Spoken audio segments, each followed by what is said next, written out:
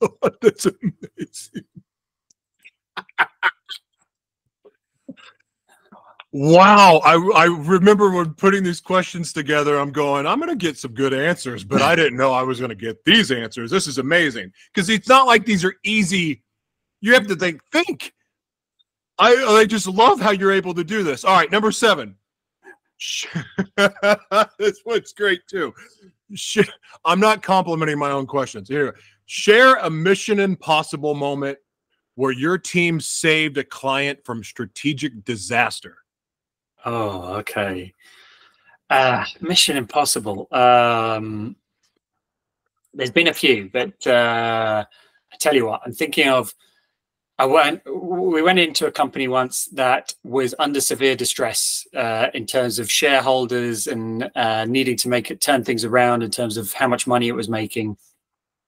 And uh, I sat down with this the CEO, and she told me the problem, and she said to me, "Faris, you've got two weeks to come up with a plan." I said, "Fine, give me two weeks."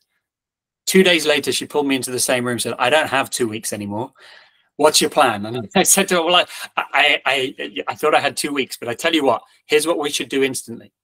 I said to her, I want to get everyone in and train them how to run a meeting. And she said, what the hell is that going to do for me?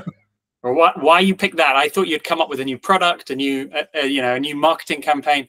I said, no, have you been in any meetings in this company? They are chaotic, right? People turn up late people just sit around nobody makes any notes nobody knows what that why there's the meeting right? You might as well not have them. And she said okay i agree with you but how's that going to improve my sales position? I said trust me give me give me a week to train people. So i trained everyone in that company how to run meetings. And you know what happened?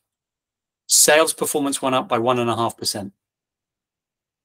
Right? and she was flabbergasted. She was like what's your next idea? I, first of all she was like i don't know what you just did but she's like what's your next idea right? And by that time, I had a couple more ideas, and the team had come up with some more ideas. So, step by step, we were able to make the small changes by putting some more focus, FQ, and some structure, right? And getting people working better together, the more EQ, to save that company from what would have been a really, really bad year.